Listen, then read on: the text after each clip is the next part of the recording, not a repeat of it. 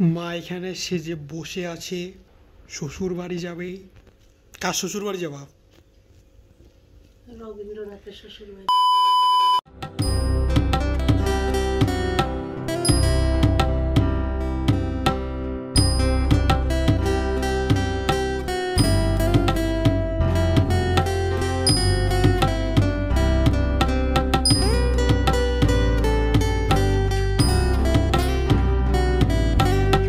hey guys welcome to my channel and welcome to another blog তো আশা করি তোমরা সকলেই ভালো আছো। সেই ঘুরতে ঘুরতে ঘুরতে ঘুরতে ঘুরতে ঘুরতে চলে আসলাম খুলনা। খুলনায় অলরেডি আসি কয়েকদিন ধরে। তো আজকে যাচ্ছি একটা বিখ্যাত জায়গায়, ঐতিহাসিক জায়গা, রবীন্দ্রনাথ ঠাকুরের শ্বশুরবাড়ি। তো ওইটা হচ্ছে খুলনা জেলার ফুলতলা উপজেলায় অবস্থিত। তো সেখানেই যাচ্ছি। তো আজকে যেহেতু সোমবার সোমবার আড়াইটার থেকে আর কি ওইখানে ঢুকতে দেয়। এই জন্য আর কি দুপুর অলরেডি দেড়টা বাজে আর আমরা এখন বের হব।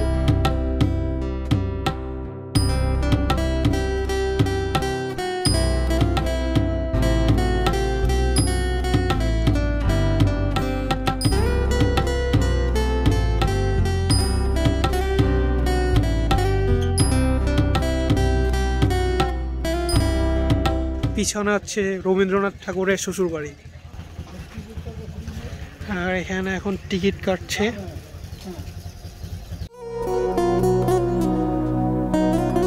দুই সাইডেই দুইটা পিলার পাবা দেখতে ফার্স্টেই।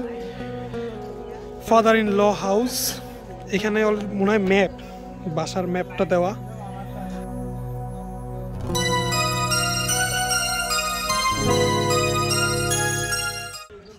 সুন্দর ফাঁকা জায়গা, চারিদিকে বাউন্ডারি করে দেওয়া।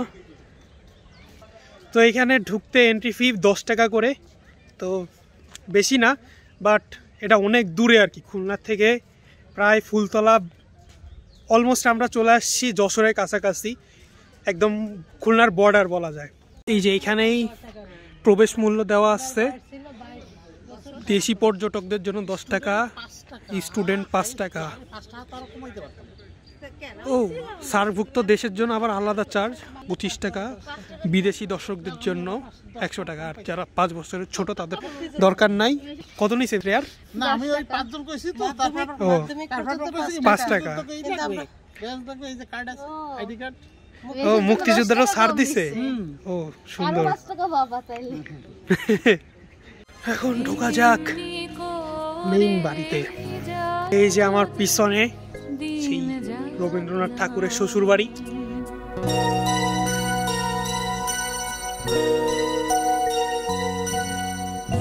এমনি করে যায় যদি দিন আর এখানে ছবি তোলা হচ্ছে।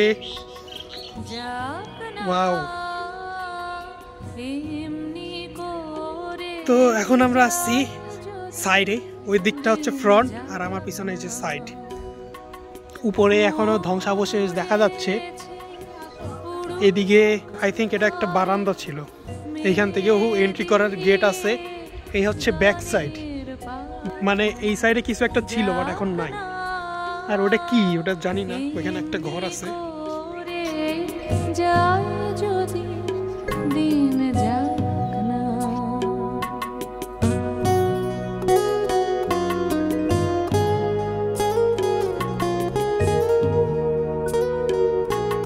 আসলে এখানে আসলে একটা অন্যরকম ফিল পাওয়া যায়।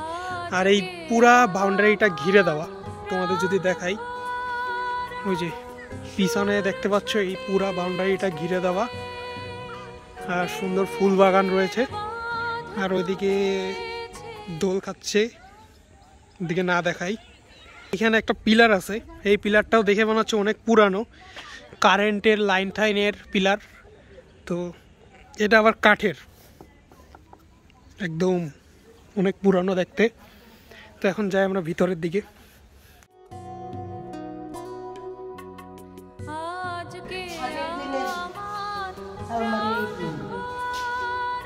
আগের কালের মানুষরা ইন্টেলিজেন্ট ছিল। এরকম ভাবে সব আলমারি বানাইছে। আর প্রত্যেকটা ঘরে সব ছবি দেওয়া তারপর জীবন কাহিনী। আজকে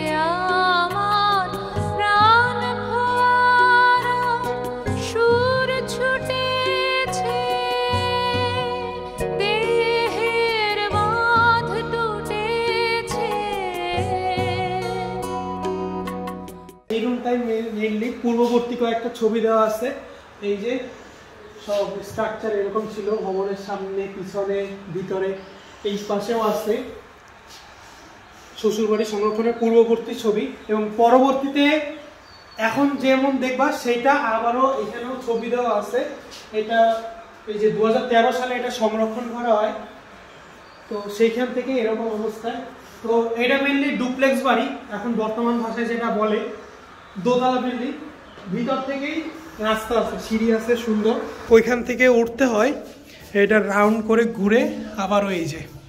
তো এখন আমরা দোতলায় চলে আসছি। তো এই দিক দিয়েও উপরে যাওয়া যায় বাট এই যে মৃণালী দিবি আমাদের যাইতে দেবে না উপরে। দোতলায় ওই একটা রুম এই একটা রুম এছাড়া রুম নাই। এই রুমেও অনেকগুলো ছবি আছে। অনেকগুলো পাণ্ডুলিপি আছে। কবিগুরু রবীন্দ্রনাথ ঠাকুরের। যে এখানে কিছু আছে। তারপর এই পাশে আছে। তারপর এখানে অভিনেতা রবীন্দ্রনাথ ঠাকুর। তারপর কবিরা তার ছবি।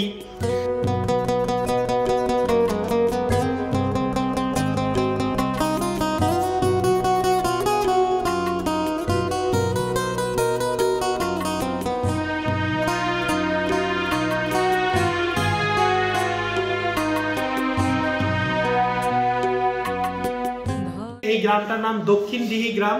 এটাকে আবার রবীন্দ্র কমপ্লেক্সও বলে থাকে। তো এখন সব থেকে ইন্টারেস্টিং যে জায়গাটা, এটা আমার সব থেকে বেশি ভালো লাগছে, সেটা হচ্ছে এইটা।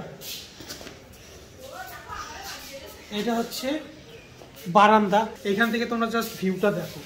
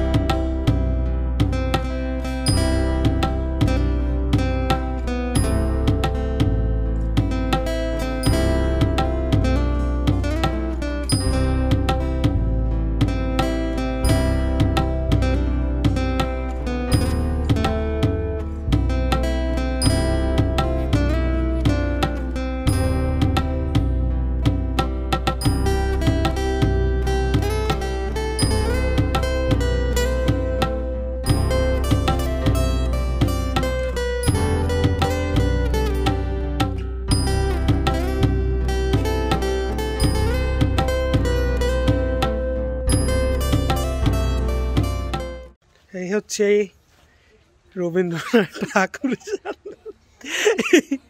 আমরা বেরিয়ে গিয়েছি, এখানে আরও একটা বাউন্ডারি দেন সেকেন্ড বাউন্ডারি হচ্ছে এই সাইডে তো এই মাঝখানে ফাঁকা জায়গা, সুন্দর। আর এই যে রবীন্দ্রনাথ ঠাকুরের সেই শ্বশুর বাড়িটা, এখানে একটা মঞ্চ আছে। এটা আমি আন্দাজে বলছি, এখন আমরা ওইখানে যাইনি। তো মঞ্চটা হচ্ছে এই যে এই যে এখানে লেখা আছে তো এখানে একটা গাছ লাগানো আছে, জানি না এটা কি গাছ।